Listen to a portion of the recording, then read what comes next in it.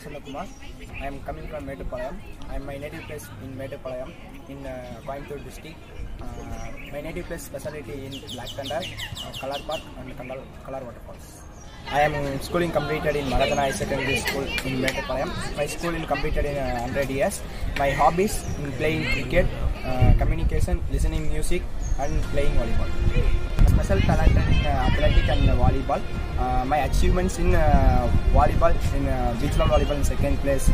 And sec- my second achievement in scout award of Batma Pusa in my second achievement in scout uh, award of uh, Batma Pusa award given to me. Commerce and accountancy my one of uh, favorite subject. So i am choosing in bcom my long time go- goal is uh, my long time goal is settle in life. Becoming an ips officer. My short time goal is uh, complete my degrees. Thanks for watching